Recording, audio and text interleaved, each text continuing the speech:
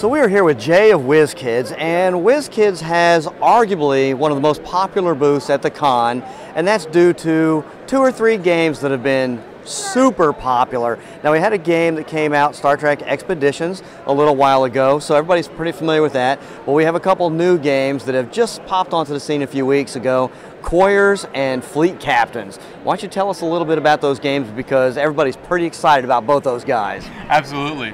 Well, uh, Star Trek Fleet Captains is a uh, board game for up to two to four players in which you assume the role of a fleet commander for either the Klingon or the Federation uh, affiliations.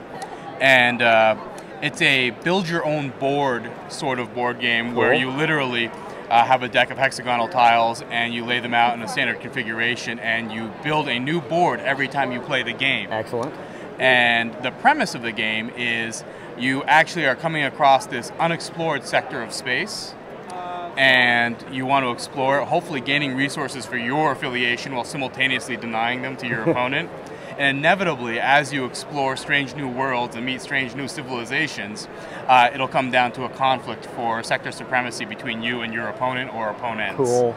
So. And I've seen the bits. They are amazing for this. The, yes. uh, the starships are wonderful. You guys have to be happy with those. Absolutely. Uh, the game itself comes with 24 detailed models, 12 Federation starships, uh, which are very recognizable to Star Trek fans Absolutely. everywhere, and uh, 12 Klingon ships, which are also as recognizable and iconic. And uh, the plan is, while the game itself is a one and done, non collectible uh-huh. product, right we are building for expansions, Excellent. which will include new affiliations like the Romulans, the Cardassians, and all your other fan favorites, and new Klingon and Federation starships as well.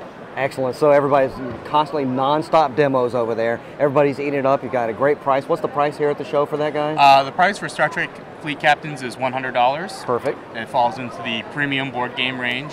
Gotcha. So, and actually, we're doing a show special where folk purchasing fleet captains can uh, leave us their address and we'll send them a whole new set of cards as well, wow. and including two new outposts so that they can easily expand the game to four players. Excellent, that sounds awesome. Absolutely. cool, now the next game that we have to talk about now, you don't know this, but I am addicted to dice like crazy. So when Quarriors was announced, this was my number one, I have to see this game. Came over, bought it right away, haven't had a chance to play it. I love it. Uh, why don't you tell everybody a little bit about Quarriors because it's awesome. Quarriors is a game that uh, that builds upon the deck building uh, philosophy, where you are literally uh, purchasing new items to include in your pool of resources, and uh, at, during the course of the game, uh, getting rid of less desirable elements within your pool of resources. Right. So you can kind of concentrate and build a deck or a dice pool, as we like to say, of uh, very powerful spells and creatures with which to attack your opponent's uh, creatures, denying them the opportunity to score glory, which is the goal of the game. Cool. Um, and then uh, as you go through the game, you get to roll all sorts of great custom cut dice that we've designed just for this game. Sweet. So there's no ones, twos, three, four, fives, or sixes on these guys. Uh, each each die represents either a monster in the game or a spell that you can cast. Um, the dice themselves are beautiful, and honestly, we couldn't be more happy with how they turned out. Um, it really has been the buzz of the show. We premiered the game originally uh, demonstrating it for the public at Origins. Uh-huh and uh, Board Game Geek has been really on fire about it.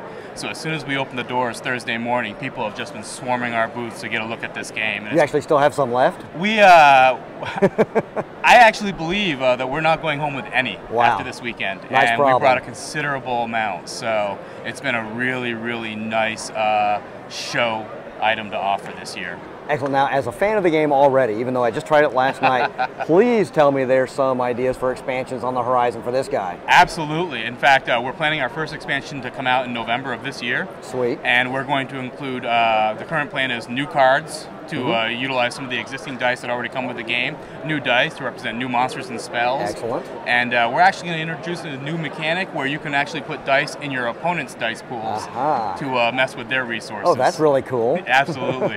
I'm looking forward to it a great deal.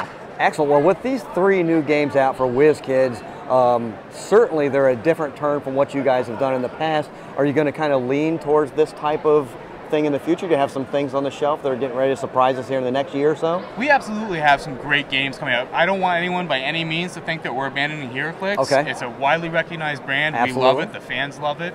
We're going to continue on doing that. But we're also, you know, exploring this new territory of board games. And with the next couple of releases, we're actually going to be combining the two different uh, concepts.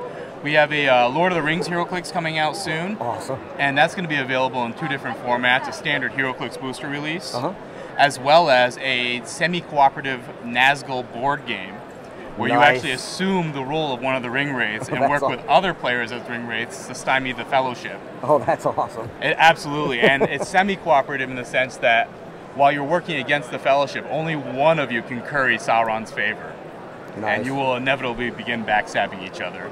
Excellent. Now, what kind of a timeline does that guy have for? We're looking uh, fourth quarter this year, or Okay. very early first quarter next year. Okay, excellent. Um, we're also bringing back a very popular IP that we used to use, uh, Mage Knight, cool. and that's coming back as a fully uh, uh, board game Okay, nice. um, that draws on that intellectual property, you know, the, the mythos of that universe. It won't be uh, HeroClix compatible, but it will be utilizing that that whole like myth and fantasy that we built up over the years in Mage Knight. So it'll be a lot very familiar with to a lot of our fans. Awesome.